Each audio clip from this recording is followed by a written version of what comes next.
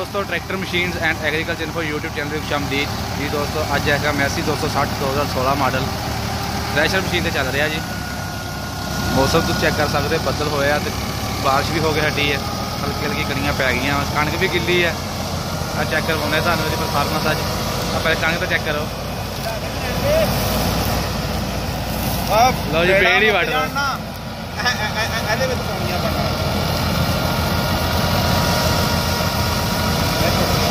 ਨਹੀਂ ਤੋੜਦੇ ਗਿੱਲੀ ਕਣਕ